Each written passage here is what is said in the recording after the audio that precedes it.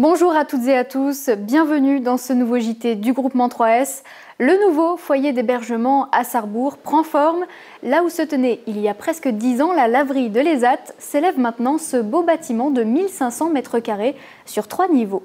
Si on a construit ce foyer, c'est parce que les deux autres foyers, n'étaient plus dans les normes de sécurité. Euh, en plus, euh, ici, c'est spacieux, ils auront de la place et ils auront aussi plus de moyens pour euh, s'épanouir. Hein. Construit à l'image des résidences Lydie Guggenheim ou encore Bernard Meyer, on y comptera 30 chambres de 20 mètres carrés avec salle de bain intégrée, de grands espaces communs ainsi qu'une salle de restauration. Tout a été conçu pour coller au mieux aux besoins des futurs résidents sa localisation aussi est idéale. Cette résidence se trouve au cœur du centre-ville de Sarrebourg. C'était un point stratégique et c'était surtout pour moi une importance fondamentale parce que je suis assez opposé quand je vois les maisons de retraite en pleine campagne où les gens n'ont rien autour. Euh, tandis qu'ici, euh, s'ils ont envie de sortir, aller boire un coup, euh, ils peuvent. Bâti selon la norme BBC bâtiment basse consommation, il répond aux exigences environnementales. Des panneaux solaires seront installés sur le toit et des matériaux écologiques comme le bois sont privilégiés. Le coût total s'élève à 3,8 millions d'euros, financé à hauteur de 300 000 euros par l'APEI de Sarrebourg.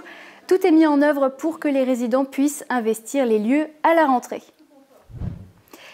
Une belle surprise pour les enfants de l'IME le Himmelsberg. Le lutteur Saifeddin Alekma leur a rendu visite. Déjà venu il y a quatre mois pour une séance d'initiation, cette fois il a répondu aux interrogations.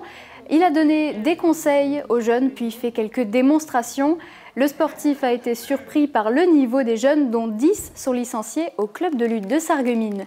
Un beau moment qui s'est terminé par un visionnage des combats du champion, notamment celui qui lui a valu le titre de vice-champion d'Europe, une photo souvenir et une séance de dédicace. Depuis son déménagement dans de nouveaux locaux, le CESAD Arpège de Sarrebourg peut accueillir les enfants dans de meilleures conditions. Bien que la majorité des interventions se fassent en dehors du bâtiment, dans les écoles, les crèches ou à la maison, certains enfants sont pris en charge sur place pour les grands, des séances de jeux de société sont proposées afin de favoriser l'intégration sociale et scolaire.